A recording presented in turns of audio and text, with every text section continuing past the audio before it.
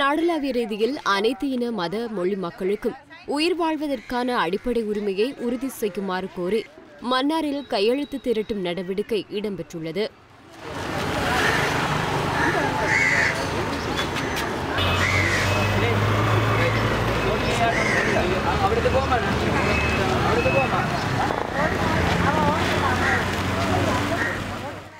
இந்த நிகழ்வு மன்னார் தேசிய மீனவ ஒத்துழைப்பு இயக்கத்தின் ஏற்பாட்டில் இதன் ஒருங்கிணைப்பாளர் பெனடிட் குரூஸ் தலைமையில் இன்று மன்னார் நகர பகுதியில் இடம்பெற்றது.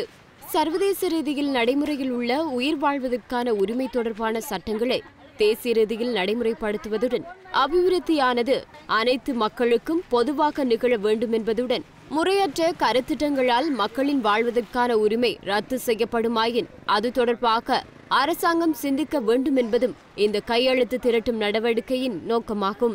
இவ்வாறு நாடளாவிய ரீதியில் சேகரிக்கப்படும் கையெழுத்துக்கள் கோரிக்கையாக அரசாங்கத்திடம் கையளிக்கப்பட உள்ளமை குறிப்பிடத்தக்கது.